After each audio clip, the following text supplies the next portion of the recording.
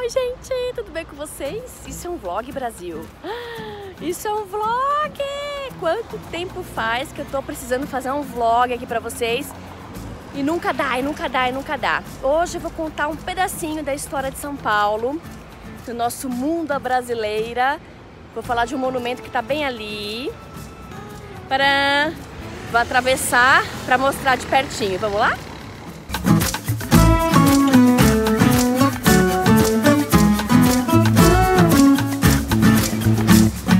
Pessoal, hoje o Mundo Brasileira vai falar da história, né? Cada pessoa, cada youtuber participante vai contar uma historinha, um trecho, né, da história da sua cidade ou do seu país. E eu poderia falar do pátio do colégio, poderia falar do mercado municipal, que eu adoro, da Catedral da Sé, mas eu quis falar de um monumento que está no meu bairro, né, aqui na Zona Sul de São Paulo. Estou falando, gente, do Borba Gato, que é essa bela estátua. Vou pegar ela de frente para vocês. E que foi alvo há poucos, há poucos dias uh, de protestos, né? Mas eu vou explicar melhor já já para vocês. Eu quero mostrar a grandiosidade. Olha como é gigante esse cara, gente. Feito em Mosaico é a coisa mais linda de se ver. Essa obra do artista Júlio Guerra foi inaugurada em 1962. Tem 10 metros de altura, 13 com o pedestal. Bom, gente, essa parte interna toda, essa estrutura é feita de trilhos de bonde, olha que curioso, argamassa e o revestimento foi feito com pedras coloridas vindas de vários lugares do Brasil, exceto o rosto que ganhou um mármore vindo de Portugal. E essa estátua, propriamente dita, junto com outros painéis em mosaico que fazem parte ali da obra, foram alvos por diversas vezes de vandalismo aqui na cidade. Isso porque muitas pessoas não consideram justo, né, um bandeirante ser tratado como herói, receber uma homenagem, ainda porque está com uma arma nas mãos, né, sabendo que esse foi um período de extrema violência, onde várias vidas foram sanadas, aldeias destruídas, indígenas foram escravizados, mas muitas pessoas também é, defendem que foi necessário por conta da exploração e da formação da cidade de São Paulo. Então tá aí, gente, uma polêmica grande. A obra é, divide opiniões, alguns gostam, outros não, né? Mas faz parte aqui da história e eu queria muito mostrar isso para vocês. E o Borba Gato tem a sua própria máscara também, sabia, gente? Pois é, colocaram uma, um lençol no rosto dele e ele tem a máscara dele também. Acho que tiraram para lavar, porque eu passei aqui outro dia e tava de máscara assim. Achei tão criativo, achei tão legal, é uma forma, né, de quem passar aqui se lembrar, né, é, de usar a máscara. E é isso, gente. Na minha opinião, é um belo monumento. Eu sou super a favor de arte. É um monumento todo detalhado, feito à mão, né? É, tem a sua beleza aqui na região, embora essas polêmicas fiquem rondando aqui o nosso bairro, né?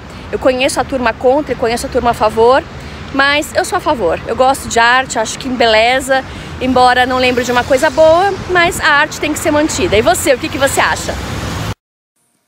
Só para a gente se localizar, nós estamos na Avenida Santo Amaro, aqui junto ao Adolfo Pinheiro, no bairro de Chácara Santo Antônio, ao lado de Santo Amaro e Alto da Boa Vista. Inclusive, fica ao lado do metrô Alto da Boa Vista, tá bom? Então, se você estiver aqui em São Paulo, estiver aqui na região, passa aqui na frente da estátua para você conhecer e aí você já vai lembrar de mim e vai lembrar desse vídeo, tá bom? Comenta aqui que eu quero saber se você veio.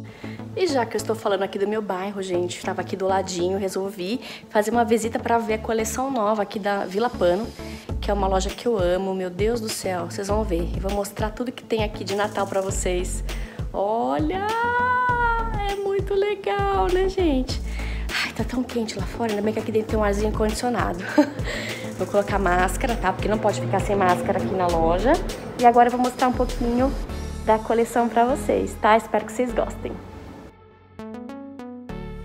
Ai, como eu amo Natal. Olha que lindo, pessoal. O que mais me chamou a atenção tá na loja, além das guirlandas maravilhosas, porque eu acho que tem que ter guirlanda, que é um símbolo lindo, né? Eu gostei muito desses bichinhos também, né? É, a loja também dessa proposta de nichos, onde você pode colocar alguns elementos. Então você pode colocar os bichinhos, algum outro símbolo, uma mini guirlanda, entendeu? Você pode criar aí uma composição bonita. Os bichinhos, né, os bonecos vieram para ficar. Eles podem decorar a mesa, a árvore, qualquer cantinho da casa. E outro elemento que chamou bastante atenção foi o xadrez. O xadrez ele tá nas roupinhas dos bonecos, se vocês prestarem atenção, também estão nas roupas de mesa e também nas louças. Tem muitas louças em xadrez, eu achei muito, muito bonito. Com certeza aqui nesse ano eu vou explorar esse elemento, né? É, além, claro, né, do das, dos pinheiros tradicionais, né? Dos bonecos de neve, é, trenó, Papai Noel, que isso não pode faltar nunca em nenhum Natal. Então as cores é, estão bem tradicionais, eu gostei bastante, né? Do vermelho, do verde e do dourado, né? E muitos elementos assim iluminados, muito glitter, luzes. O ano passado eu notei as peças mais foscas, sem muito brilho. E agora o brilho voltou, né, um pouco mais. É, esse rústico ele também tem muitas pessoas que usam, mas eu notei que o brilho e o xadrez é, trouxeram um glamour, né, mais uma vez aí para esse ano. Esse aí é mais um pedacinho da loja, fica mais profundo, né? Tem algumas louças, tem alguns outros, algumas outras peças para lavabo, para banheiro e para cozinha, né? Você chegar aí, você tem vontade de comprar tudo. Eles personalizam também, né? Fazem gravações, é bem bacana, né? Tem verdinhos também, é, flores artificiais, arranjos, faqueiros. Então dá pra gente curtir bastante, se inspirar bastante. Esses nichos aí achei super curioso e gravei para vocês. Cada um, gente, é uma cor, sabe? É um estilo. Esse aí é o azul, aí tem o rosado, tem o branco, tá vendo? Então você consegue ter uma noção melhor de composição, tá? Sempre que eu vou lá eu me apaixono. Amei. Espero que você tenha curtido também.